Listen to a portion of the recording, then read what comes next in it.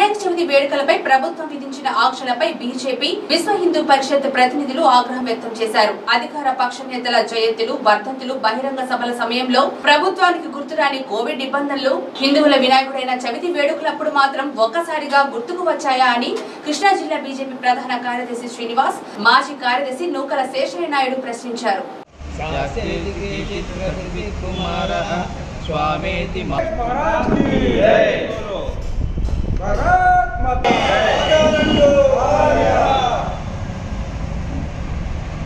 जय बोलो गणेश महाराज की जय बोलो गणेश माता की जय जय माता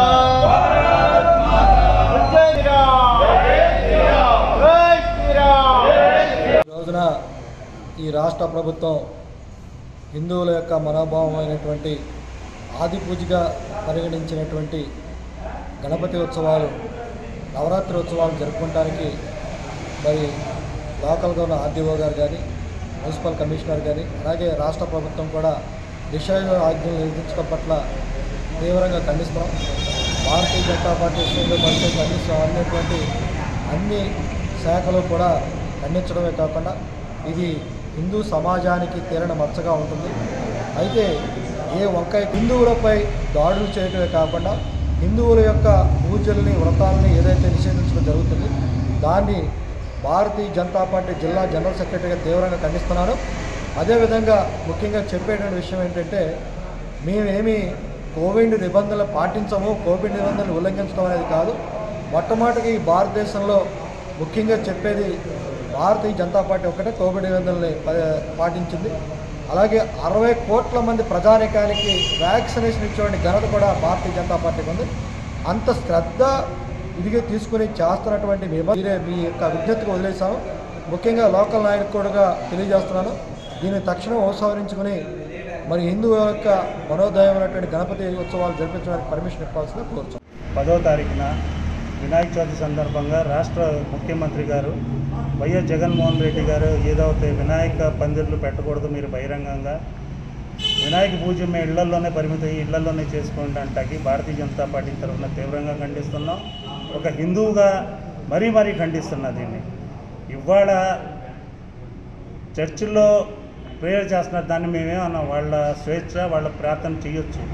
కానీ చర్చిల్లో ఐదు వందల మంది ఆరు వందల మందికి ఆదివారం పూటలో గుమ్ముగుడి ప్రేయర్ చేసేటప్పుడు రాని కరోనా ఇవాళ హిందూ పందిర్లో కూడా మీరు చూస్తే ఇరవై మంది కంటే ఎక్కువ ఉండరు. అది కూడా సాయంత్రం పూట్ల ఆడత టైంలోనే ఉంటారు ఆ ఇరవై మంది కూడా.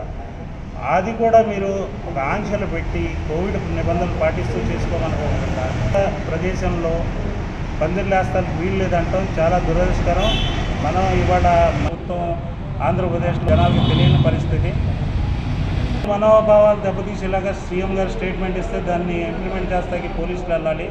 అక్కడ ఘర్షణ వాతావరణం నిలగొట్టుకుంటుంది కాబట్టి ఈ సీఎం గారు ఆయన చెప్పిన మాటలు వెనక్కి తీసుకుని వినాయక పందిర్లు కోవిడ్ నిబంధనలతో మీరు వినాయక పూజ పందిర్లు వినాయకుని కోరుకుంటున్నాం.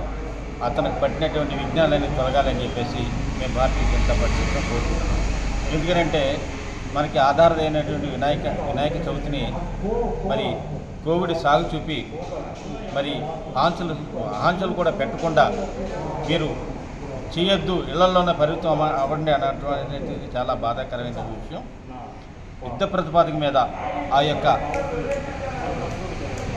యుద్ధ ప్రతిపాదక మీద మీరు విరమించుకుని వినాయక పందిళ్ళకి పర్మిషన్ ఇవ్వాల్సిందిగా నేను కోరుతున్నాను.